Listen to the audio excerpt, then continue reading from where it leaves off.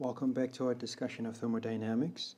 So far, we have had a triumphant path in that we were able to quantify temperature, and furthermore, we were able to connect the changes in temperature to uh, heat transfer. And the summary of that triumph is contained in this equation.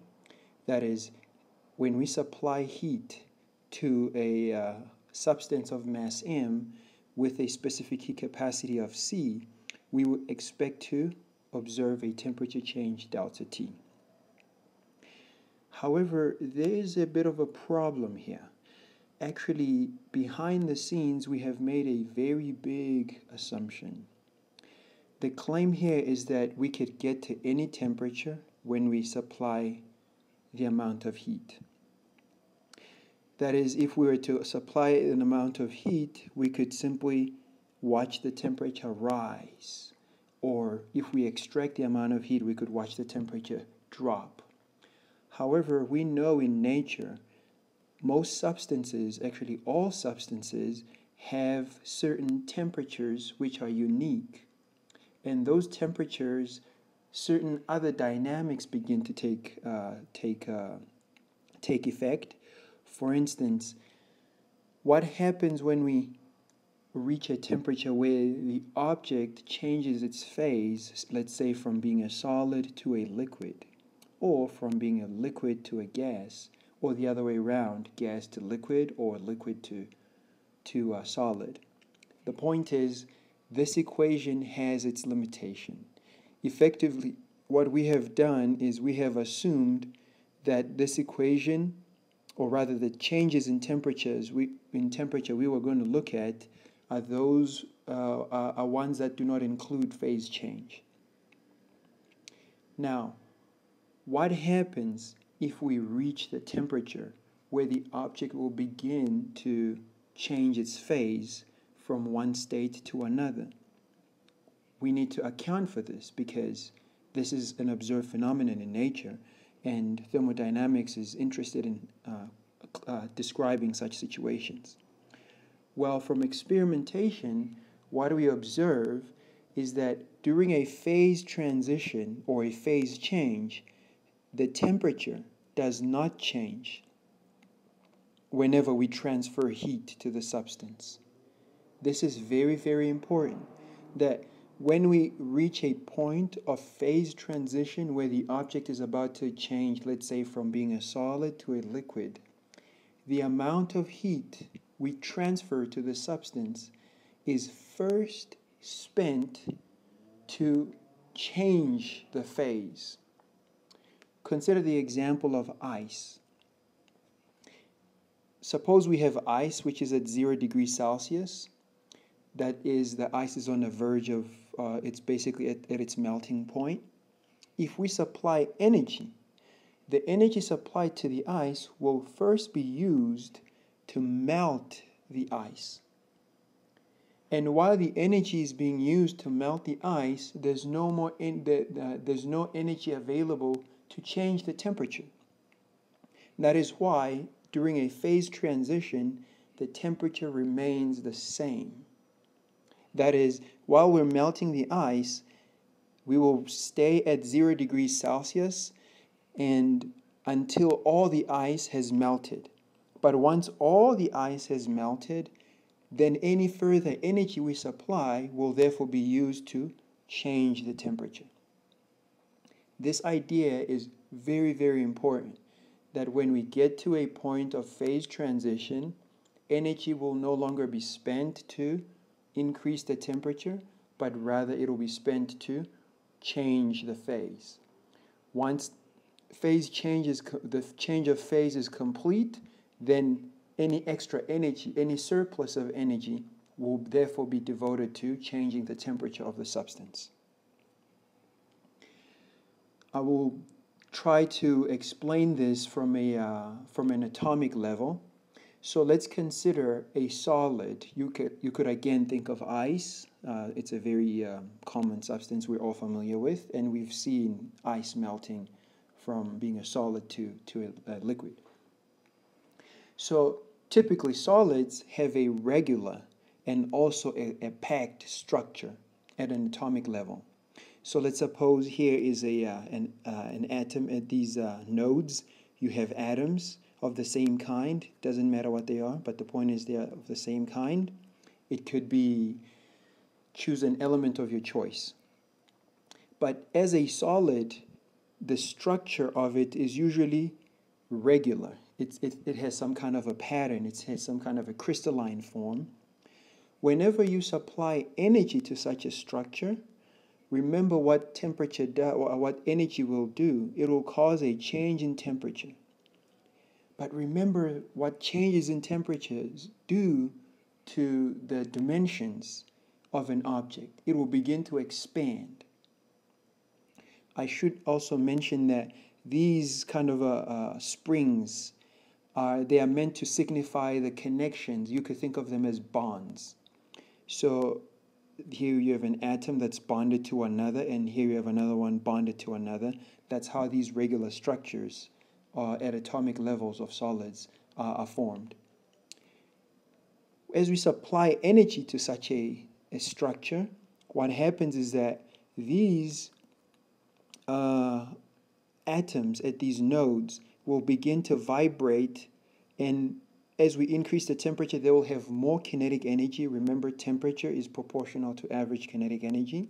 So they will begin to vibrate more and more, and effectively they will move away from one another. So the separation will move away from one another.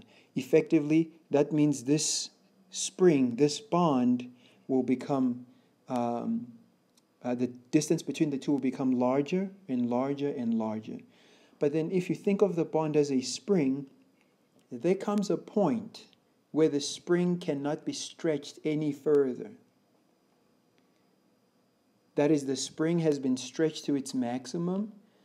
Any further supply of energy to stretch the spring will no longer actually stretch the spring, but rather what it would do, it would sever the spring, it will break the spring. The same is true with atoms.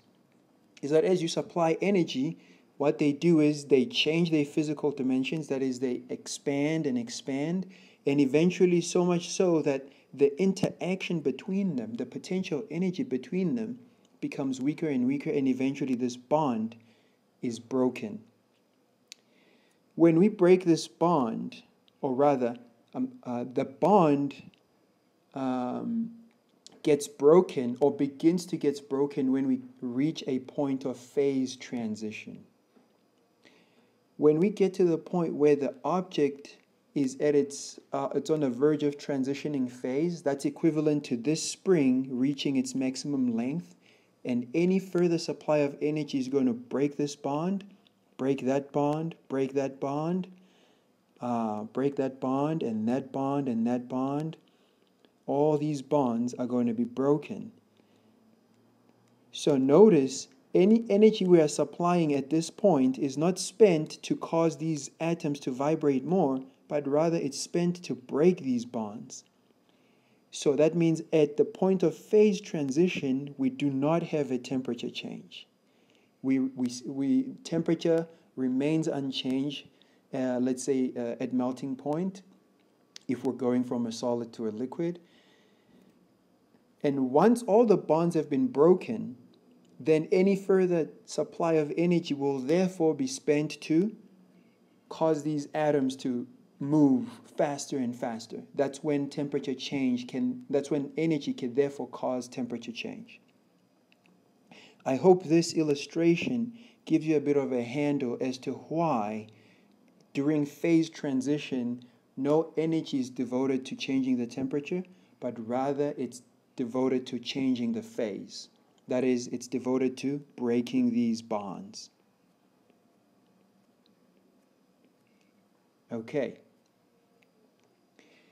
Now, how then should we quantify the energy associated to the phase change? Because clearly this does not depend on the temperature itself.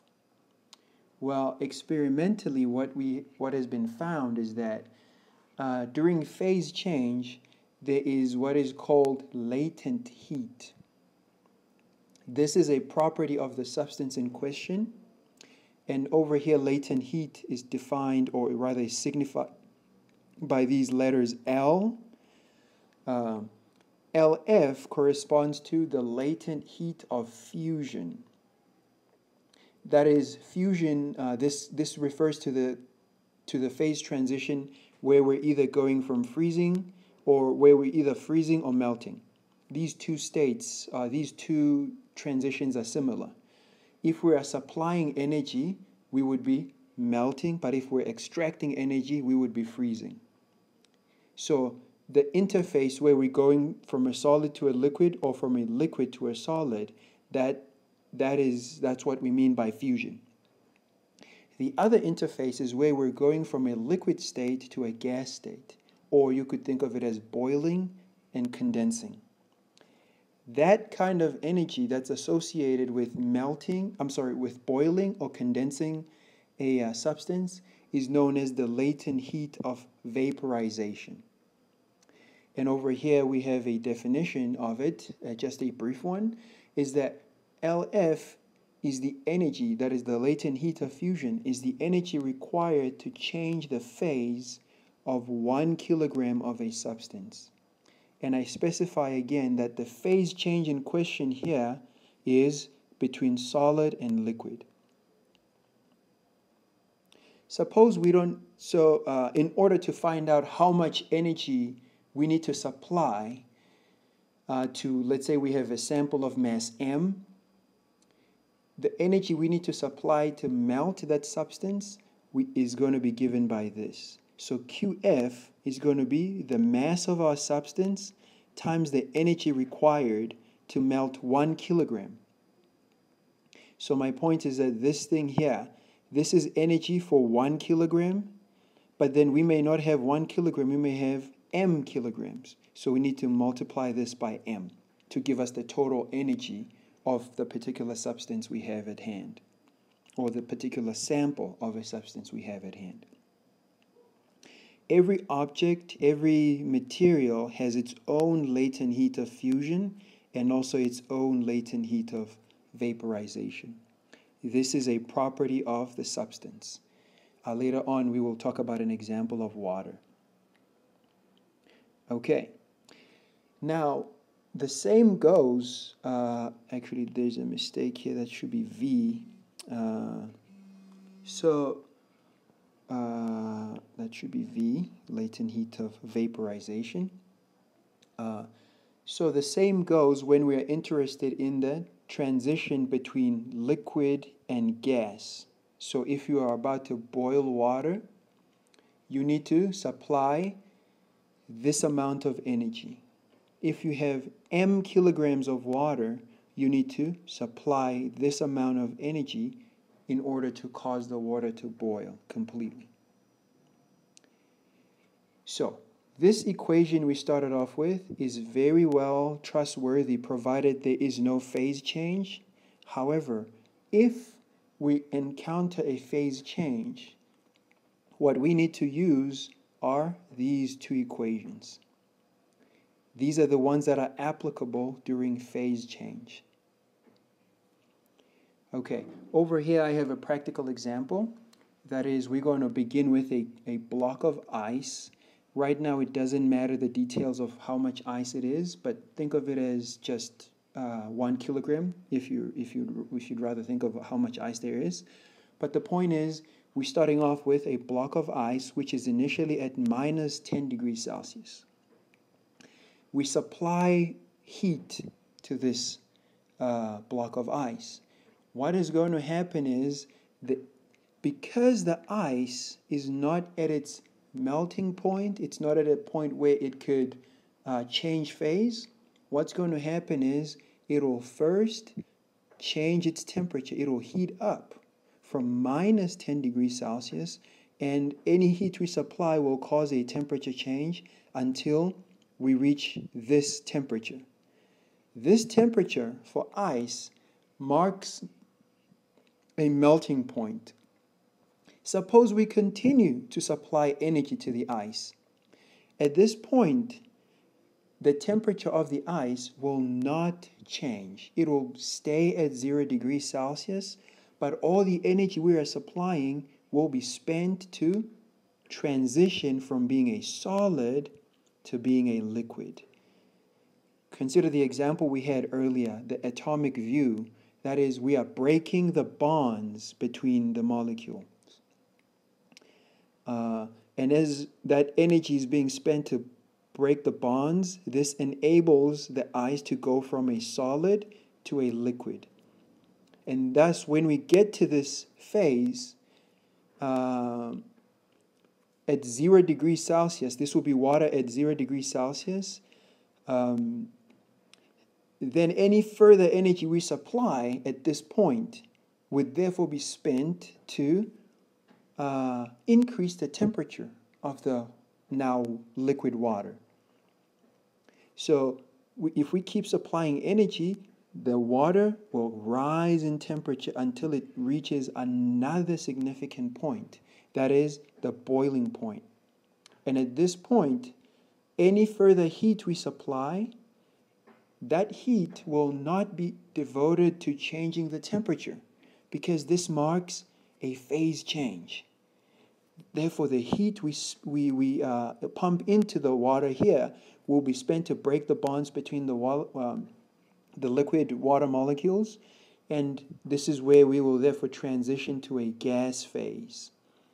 And after all the after all the water has been converted to gas, has transitioned to gas, then any further heat supplied will cause therefore a temperature to rise further on. That's where you would have steam that's at a higher temperature. Uh, it could be 110, 120 degrees Celsius. But the point is, now the temperature, the energy we supply will be spent to change the temperature of the steam. The same goes if we were extracting energy. Suppose we begin with a gas at 100 degrees Celsius, and this time around we're extracting energy. Of course, at 100 degrees Celsius, this would be the condensation or the point of, um, of condensing, right? This is where the, uh, the steam would condense into uh, liquid. That is, all these water molecules, which were gas, they will therefore condense to be a liquid. And any more extraction of heat will be spent to reduce the temperature, or rather, any extraction of heat will cause a reduction in temperature so that temperature will decrease from 100 all the way to 0 degrees Celsius. And at 0 degrees Celsius, if we keep extracting heat, what's going to happen is that the temperature will not change at this point, but rather uh, any heat we extract will reconnect, or rather will re-establish the bonds between the water molecules so that they form a regular structure. And when they form a regular structure, we recover the solid. And therefore, we would have a solid block of ice at 0 degrees Celsius. If we keep extracting heat from this block of ice at 0 degrees Celsius, then this will result into a reduction of temperature. What's important is that during phase transition, the temperature does not change. The temperature stays the same. That's very important. And as an example, if we had a kilogram, a block of ice, and we supplied uh, the amount of energy required uh, to actually, I, maybe I should state it this way that uh, for one kilogram of ice to be melted, we need to supply 334 kilojoules per kilogram. Suppose we had one kilogram of ice here when the ice is at 0 degrees Celsius and we supply exactly 334 kilojoules, what we're going to end up with is water. It's going to be liquid ice, but its temperature will be zero because this energy is just enough to break the bonds. But once we have exhausted this, there's no more energy to increase the temperature. So you would have ice, I'm sorry, water at zero degrees Celsius. It's very important if we supplied exactly this amount of energy to one kilogram of ice at zero degrees Celsius, the outcome is going to be liquid water at exactly 0 degrees Celsius. And the same goes for uh, liquid water, which is at 100 degrees Celsius. If we supply 2430, 2430 kilojoules of energy, what we're going to get is a phase transition. It's the energy required to break the bonds of the liquid water so that it, it is able to transition to a gas phase. And I believe that's sufficient theory. For further reading, I commend you take a look at this section on OpenStax, the science book. And from here on, I want to do more exam uh, uh, well examples to demonstrate how we can apply the, these equations and this one.